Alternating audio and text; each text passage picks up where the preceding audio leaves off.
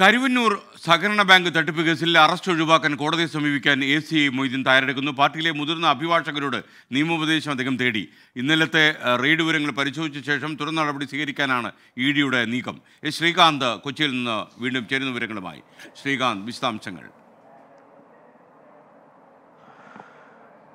നിലവിൽ ഇന്നും നാളെയും ഹാജരാകാൻ സാധിക്കില്ലെന്ന് എ സി മൊയ്തീൻ എൻഫോഴ്സ്മെന്റ് ഡയറക്ടറേറ്റിനെ അറിയിച്ചിരുന്നു. പക്ഷെ ഉദ്യോഗസ്ഥർ അക്കാര്യം ആ, മെയിൽ പരിശോധിച്ചിട്ടില്ല. അവരെല്ലാവരും ഈ റെയ്ഡിന് ശേഷം ഓഫീസിലേക്ക് എത്തണം. ആ ഉദ്യോഗസ്ഥർ കൂടി എത്തിയ ശേഷമായിരിക്കും ഈ മെയിൽ പരിശോധിക്കുന്നത്.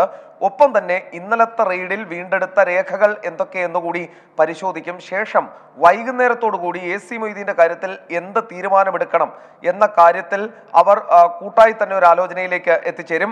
ഇനി ഇതിലൊരു പ്രധാനപ്പെട്ട കാര്യം എന്ന് പറയുന്നത് എ സി മൊയ്തീനെതിരായ ബിനാമി നിക്ഷേപങ്ങൾക്കുള്ള തെളിവ് ശേഖരിച്ചതായി ഇ ഡി വ്യക്തമാക്കുന്നുണ്ട്.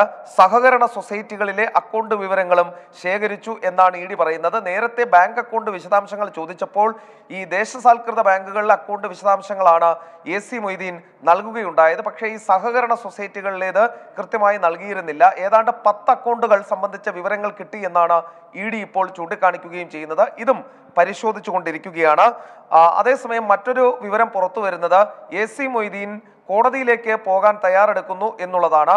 അദ്ദേഹം പ്രതി ചേർക്കും തന്നെ ഈ കേസിൽ പ്രതി ചേർക്കുമെന്നും അറസ്റ്റിന് സാധ്യതയുണ്ട് എന്നും അദ്ദേഹം ഭയക്കുന്നുണ്ട്. ഈ പശ്ചാത്തലത്തിൽ മുതിർന്ന പാർട്ടിയിലെ മുതിർന്ന അഭിഭാഷകരോട് അദ്ദേഹം നിയമോപദേശം തേടി എന്ന വിവരവും പുറത്തു വരുന്നുണ്ട്. അദ്ദേഹം ഇതുവരെയും കോടതിയെ സമീപിച്ചിട്ടില്ല. അക്കാര്യം കൃത്യമായി ഫോളോ ചെയ്യുന്നുണ്ട്. ഇതുവരെയും കോടതിയിലേക്ക് എത്തിയിട്ടില്ല. പക്ഷെ അതിനൊരു ശ്രമം അദ്ദേഹത്തിന്റെ ഭാഗത്തു ഭാഗത്തുനിന്നും തുടങ്ങിയെന്നാണ് മനസ്സിലാക്കുന്നത്. നിയമോപദേശം അതിന്റെ ഒരു പ്രാരംഭ നടപടിയായി വേണമെങ്കിൽ കാണാം. Thank you, eh, Srikanth.